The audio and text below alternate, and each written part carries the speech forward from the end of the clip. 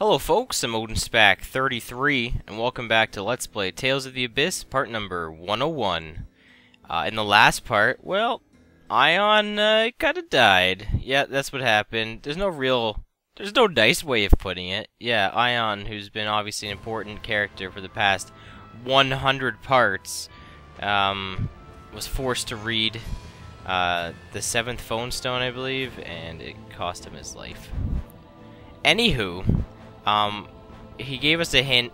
We're gonna go to Belkend because that's where we have to go, and then after that, we're gonna do a side quest uh, to actually get the last of something. I won't tell you what the, it's the last of, but it's the last of uh, a certain upgrade. Anyway, it's optional, but we're gonna get that after. It's actually useful in getting, well, a lot of the side quest stuff. So, like, it actually opens up like a bunch of areas too that we would be unable to access.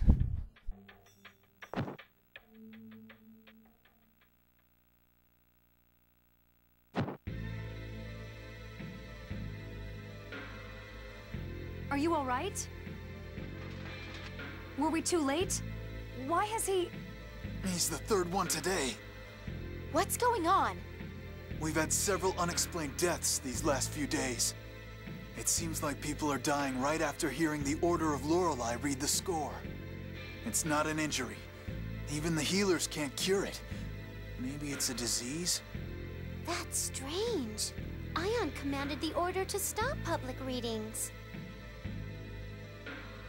Well, they started back up just before this miasma stuff started appearing again. A traveling scorer arrived. I asked for a reading myself.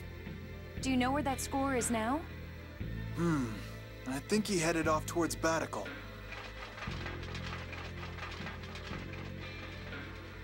The deaths may be the result of extracting the replica data through Fomicry.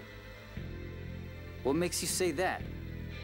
During our experiments, we observed that within a week of having their data extracted, some originals died or exhibited physical disorders. The conditions of that man's death closely resembled those of the test subjects that didn't survive. If someone really is extracting replica data from people, we have to stop them. This world doesn't need any more cases of Ash and me. Let's talk to Spinoza and then find that traveling scorer. Alright, so we're gonna go talk to Spinoza.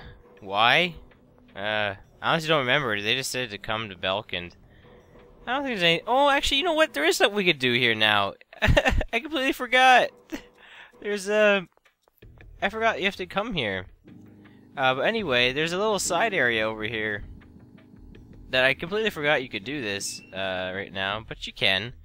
Uh, it only gets you a couple of things. Uh, I think it's just like a like a chamber, like a cobalt chamber or something like that.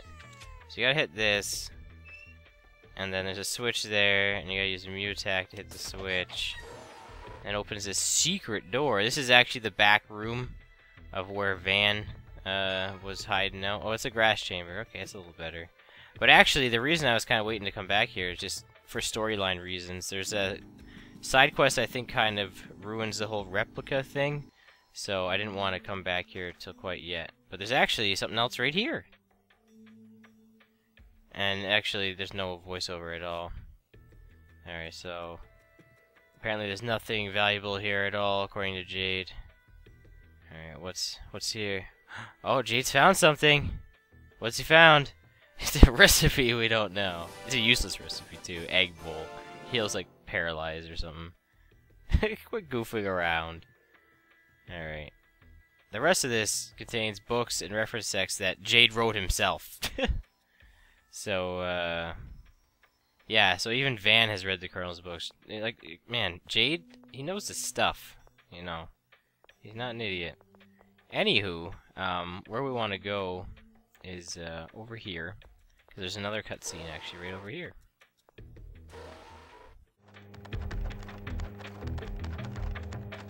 There's nobody here. Well, we knew that Van's team had already left this facility. Nevertheless, Fomicry of Living Things has been revived. Yeah, we've seen that replicas are being mass-produced. People have a weakness for forbidden things. Curiosity proves too compelling a temptation. The researchers couldn't resist, even knowing that the technology would be misused. And Van took advantage of those feelings. Well, we can't do much about the past. The question is what to do from here on. We still have a mountain of problems ahead.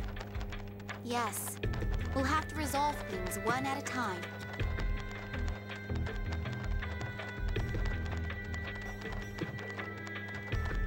Fomicry. Replicas. Luke, what did I just say? Regretting the past won't accomplish anything. Yeah, I know, but... But... I...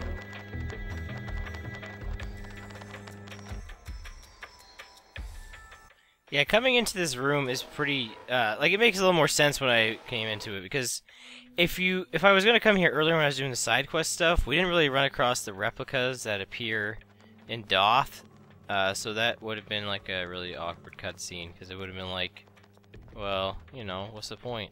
So yeah, there's nothing really going on in here, just uh, Fomicry stuff. I love the little symbol. It kind of looks like Pac-Man for a little bit. I don't know if that's the intent, like that little symbol there. Because it rotates to look like Pac-Man just for a little bit. And the top kind of looks like... Nah, it doesn't really look like anything. Yeah, I'm probably just crazy. There's lots of Pac-Man references in this game. Or in, well, Namco games in general. Because obviously Pac-Man is like Namco's mascot. You know, in Smash Bros. and everything. I mean, I'm not to talk about that right now. Be here forever talking about Smash Bros. Uh, I actually think we can get one of the other, um, if I'm not mistaken, we can get one of the forbidden stones for Jade for uh, the next of his phonic arts. Uh, maybe I am mistaken. I don't know. It's been a while. Huh, there's a cutscene, so this might be it. Yeah! Alright. Maybe we should get permission from someone. It looks like this facility belongs to my dad. It's cool. And Natalia's here. and Jade's like, oh, well, in that case, I'm just going to read it anyway. And then the stone is gone, obviously. I mean, what do they really care? Like, what are these stones gonna do? Like, they're not for anything. So, like a bill in the dictionary.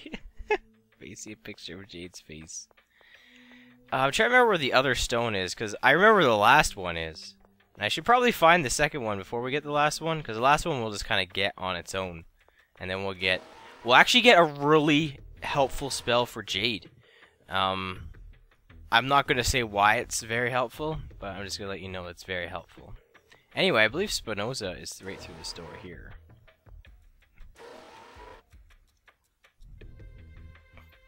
Uh, I believe Spinoza is not through this door here. What? This is his lab, isn't it? I thought this was the lab you're supposed to go into with Spinoza. No. Really?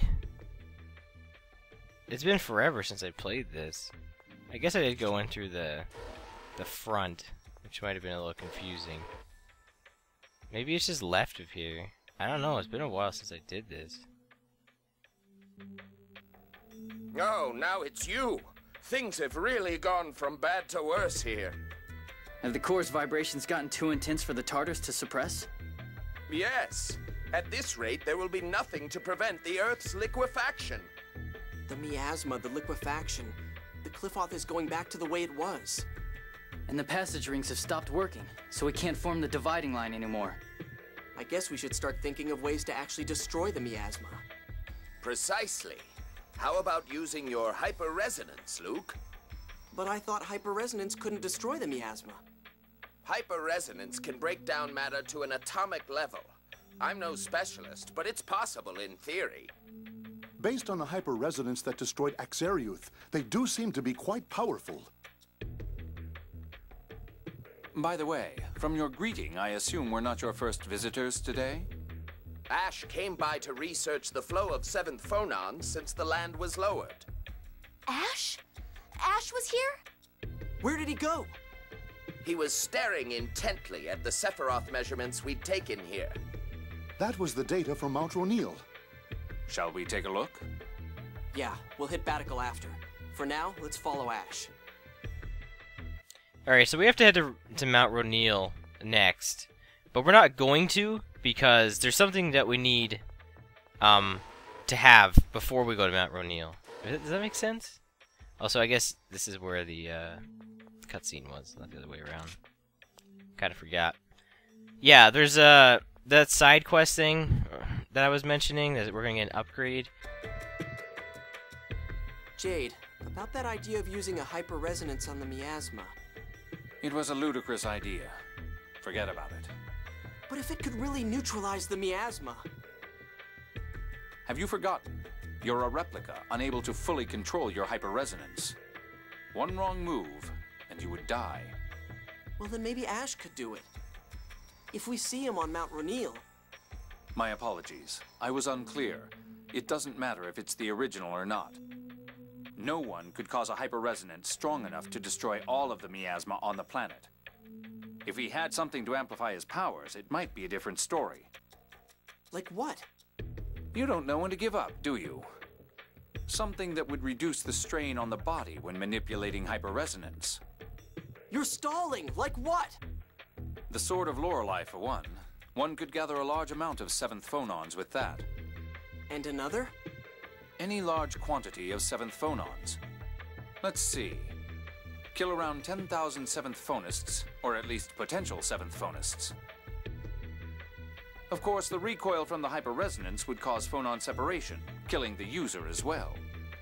The miasma would disappear at the cost of 10,000 lives. A small price to some. But that's... Impossible, obviously. Which is why I told you to forget it. Okay, I got kind of cut off. I don't know how I'm going to edit that, but... Yeah, that's kind of important to note. Um, that technically the miasma could be stopped if we killed 10,000 seventh phonists and had the Sword of Lorelei. but, anywho, um, what was I saying? Oh yeah, there is an upgrade that we need to get before going to Mount Roneal. And that's what we're going to go do now.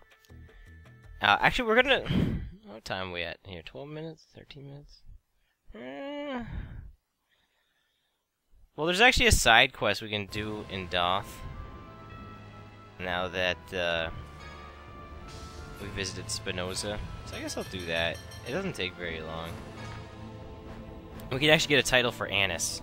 So that's cool. I guess you could miss this one. I was looking this up. I guess you could miss the title. Uh, but we're not going to do that. But I would assume if you do miss the title, there's other, like, side events you can get as well. So that's kind of cool. Because you'll see what I mean here in a second. I'm pretty sure I've always done it with Anise to get the title. I mean, I can't imagine the title's any useful. It's not a costume or anything, so who really cares, right? So you just have to go over here.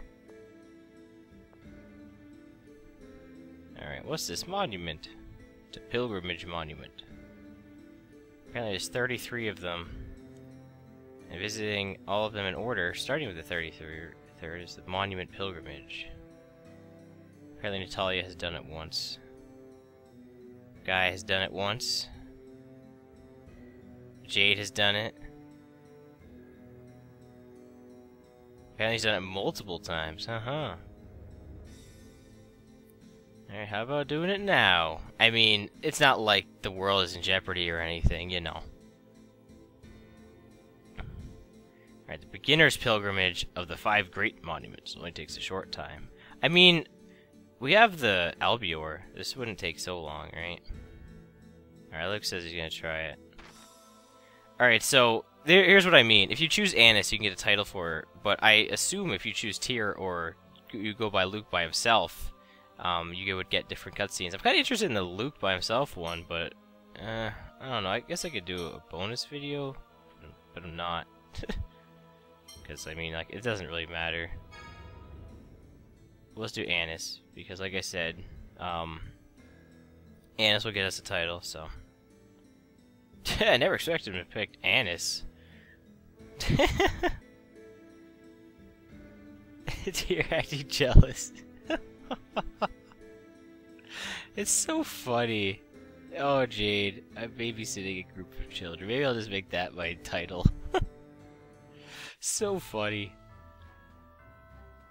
Alright, so this is the 33rd monument. Alright. Apparently, uh, ancient Ispan Ispanian is uh, carved on all of the monuments. Okay. I don't really want to read all this, but I guess it's kind of important. the score roll.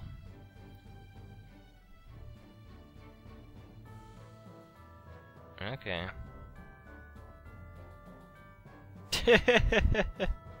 you just want my money. and it's of course. Like not even hiding it. So I guess we gotta do five of these monuments? Yeah, this is the rest of the video for sure. Alright, what's this one right here? This is the hill one, right? Uh, this is the 27th monument. Okay, so on the seventh day, Julia stood and walked upon her own legs. And heard the voice of Lorelei. Alright. Seven days after she was born? Come on. Alright. If you become the next Duke or King. Yeah, I guess that's true, but I mean Luke does have like hyper resonance and all that stuff. what's the group doing uh, at this point? Are they just like chilling in like some bar or something like that? Like, what are they doing right now? Oh, that's right. There's two. Is there two monuments on this hill? I guess there is. Oh, I completely pressed that. I didn't read that. Sorry. Alright. I guess this is... I guess you can only do this now because, um... Obviously, like, it's talking about the key of Lorelei and stuff where we wouldn't have known what that is at all. But why is this popular with uh, merchants? Oh, okay. It's about using a tool to make uh, people like their stuff. Alright. she doesn't say this stuff on real pilgrimages. So this isn't a real pilgrimage? What the heck? What the heck, man? That's dirt.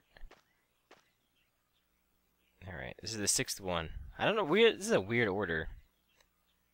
Alright, here we go. Monument of Sacrifice. Your betrayal was foretold in the score. It's when Daath betrays Yulia. Alright, so apparently people seek this monument for forgiveness. Alright. And Anise, yeah, see, look, Anise feels all bad. See, yeah, of course all this stuff takes place after all the events because she, like, feels bad that, uh, she betrayed the group. This is kind of cool. I guess, I guess, um, these monuments kind of tell the story of how the game has gone. Because even, because even the first one, how it talks about, like, seven days after uh, she was born or whatever. That's kind of like Luke, where he was like a replica and he had to like learn everything, and he had all this power, but he was actually really young technically. So it's actually kind of cool. All right, so this last one, live humbly while upholding the score. Yeah, if we've gotten all 33 of them. Ah, there's 33 monuments. Uh, OdinSpack 33. Unintentional joke? I don't know. Order Lorelei is gonna stick around. Stick around. Oh, so they want this to be a religion as opposed to like an order. I don't know the difference. Is that a real thing in real life? Because I don't really know. I'm sure someone will explain. And the group's like, hey, we were just chilling over in this grass over here waiting for you. Yeah, so it's kind of cool how they're kind of. I guess it kind of like recaps how the game has gone so far. I never really thought about that. If you do that as soon as like you can do this, which was right when we did, that's kind of what it is. Uh, and like Anise was supposed to get a title, I thought, according to this guide I was reading. Uh, maybe it was one of these other ones that I already have. I don't know. Maybe it was grown up kid. I don't know. But apparently, if you choose Anna, she's supposed to get a title. But it didn't happen, so I don't know. well, whatever. It's 20 minutes in. We're gonna end it. I know we started this episode in Daath, but we're gonna end it here too. On the next part, we're gonna get that side quest done, get that upgrade, and then we're gonna Mount Roneal, do stuff there, and then there's more side stuff to do in Mount Roneal with the upgrade we're gonna get in the next part. How about all that? That's very convenient. Alright, until next time, uh, bye-bye.